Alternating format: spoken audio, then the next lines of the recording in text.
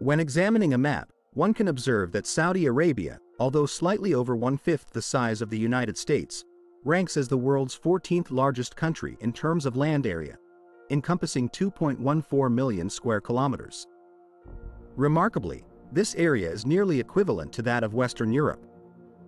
The establishment of the Kingdom of Saudi Arabia dates back to September 1932 when King Abdulaziz, also known as Ibn Saud, declared its formation.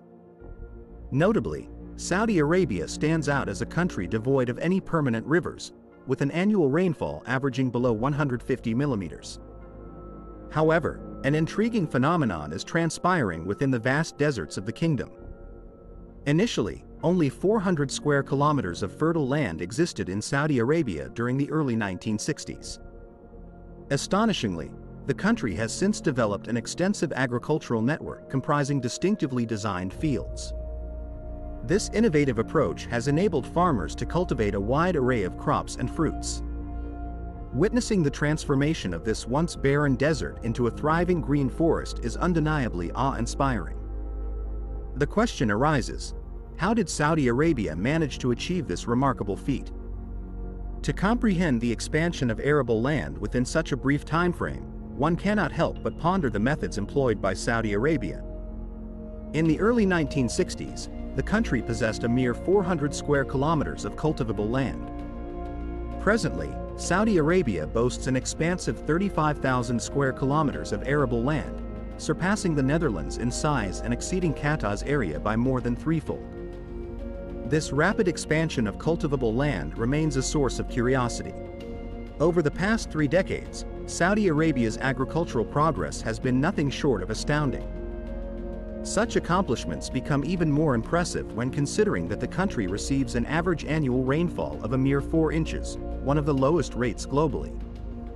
Saudi Arabia, known for possessing the largest oil reserves worldwide, made a significant discovery in March of 1938 when oil was found in the Dam oil field at a depth of 1,440 meters.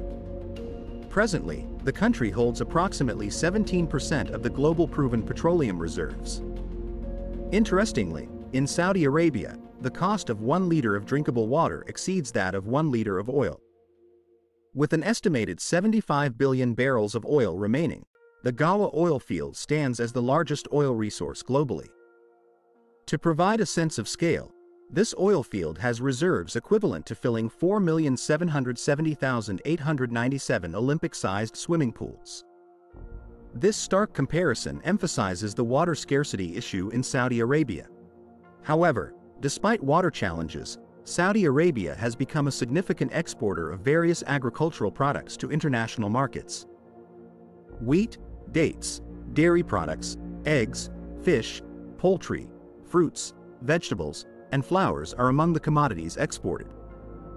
Dates, which were traditionally a staple in the Saudi diet, are now primarily cultivated for humanitarian aid purposes worldwide. This transformation in agricultural practices is quite remarkable considering that prior to the 1970s, most agricultural activities in the Arabian Peninsula were centered around date cultivation and small-scale vegetable production within oasis regions. Additionally, food for local inhabitants was sourced from small plots, and any surplus was sold to passing caravans. The kingdom's agricultural development initiatives were introduced by the government in the 1970s, focusing on promoting modern farming technologies and improving rural infrastructure. As a result, the production of staple foods experienced a dramatic increase, revolutionizing the agricultural landscape of Saudi Arabia. Thanks to abundant meat, milk, and egg production, Saudi Arabia has achieved complete self-sufficiency in several essential commodities. Consequently, the country has witnessed a corresponding decline in food imports while simultaneously expanding its exports of wheat, dates, dairy products, eggs, fish, and chicken to global markets. During the early stages of this program, significant efforts were made to establish intensive dairy, meat, poultry, and egg production. By 1985, local farms had successfully met the domestic demand for various previously imported items. Today, Saudi Arabia boasts some of the largest and most advanced dairy farms in the Middle East, with an impressive annual milk production rate reaching 1,800 gallons per cow. The private sector has also been investing in aquaculture, supported by government initiatives. The number of fish farms, both in the sea and on land, has been steadily increasing, predominantly along the Red Sea coast of Saudi Arabia. Notably, shrimp farming has experienced notable success, with a prominent shrimp farm south of Jeddah run by Saudi hydrologists and marine engineers. The farm primarily cultivates the prized black tiger shrimp, which finds its way to markets in the United States and Japan through Saudi Arabia's national shrimp company, Al Rubian. Among Saudi Arabia's noteworthy agricultural achievements, its swift transition from a wheat importer to a wheat exporter has garnered global recognition. The country's first grain silos were constructed in 1978, and by 1984, it had attained self-sufficiency in wheat production. This remarkable accomplishment has solidified Saudi Arabia's position as a prominent player in the international wheat market. Following Saudi Arabia's agricultural revolution, the country swiftly expanded its wheat exports to around 30 nations, including China and the former Soviet Union. The major producing districts of Tabuk, Hail, and Qassim achieved impressive average yields of 3.6 tons per acre. In addition to wheat, Saudi farmers also cultivated substantial quantities of barley, sorghum, and millet. However, in recent years, the production of wheat and other grains has been significantly reduced to conserve valuable water resources. Improved farming and transportation methods have played a crucial role in boosting fruit and vegetable production in Saudi Arabia. The country now ships substantial quantities of produce to other nations in the region. Watermelon, grapes, citrus fruits, onions, squash, and tomatoes rank among Saudi Arabia's most abundant agricultural products. Furthermore, in the well-watered southwestern region of Saudi Arabia, specifically at the Al-Hikmar research station in Jazan, tropical fruits like pineapples, pawpaws, bananas, mangoes, and guavas are successfully cultivated. As a result of this agricultural revolution, Saudi Arabia has witnessed the emergence of a diverse range of indigenous cuisines that were unimaginable just a few generations ago. While dates no longer serve as the primary source of nutrition, they still hold significant importance as a dietary supplement.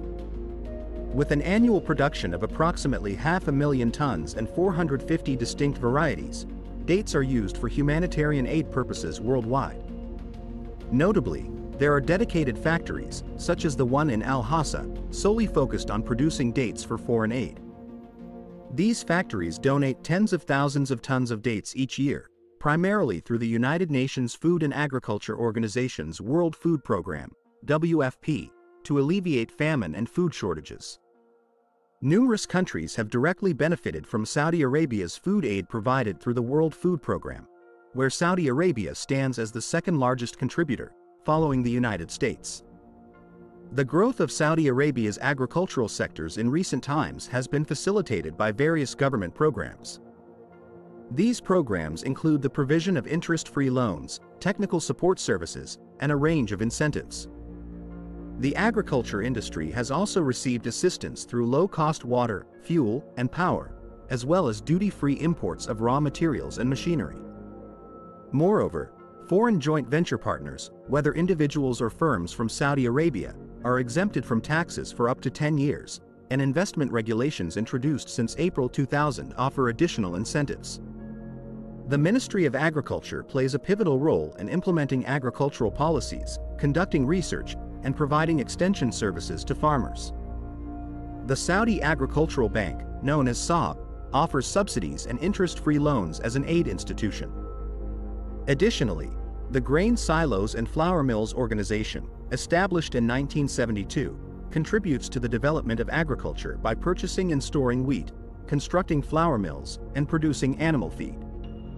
Saudi Arabia has made significant investments in modernizing highways that connect agricultural regions to major markets, facilitating transportation and distribution.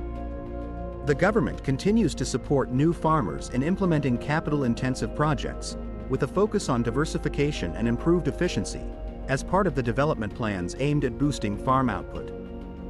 Furthermore, the government actively funds and supports research programs focused on developing food crops, increasing yields, and cultivating pest-resistant plant strains. Collaboration between local farmers and scientists takes place in agricultural research facilities at Saudi Arabian universities and institutions.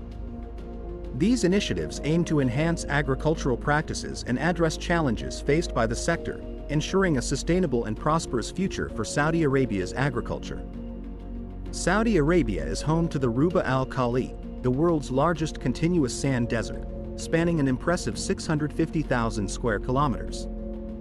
To put its size into perspective, it is larger than the combined areas of Holland, Belgium, and France. The sand dunes in this desert reach astonishing heights of 250 meters, adding to its grandeur. Although Saudi Arabia lacks rivers, it compensates with a vast coastline stretching from the Persian Gulf to the Red Sea. However, rapid development and increased water consumption have made water a limited and highly valuable resource in the country. To meet its growing water needs, Saudi Arabia relies heavily on aquifers, large underground lakes, and reservoirs that store water. In the 1970s, the government invested significant efforts to identify, map, and estimate the capacity of these aquifers. This led to the drilling of tens of thousands of deep tube wells in promising urban and agricultural areas. Additionally, desalination plays a crucial role in water supply, as saline seawater is converted into potable water. Saudi Arabia leads the world in desalinated water production, with the Saline Water Conversion Corporation, SWCC, operating 27 desalination plants that generate over 3 million cubic meters of potable water daily. These plants cater to more than 70% of water consumed in cities and fulfill a significant portion of industrial water requirements. They also serve as a significant source of electric power.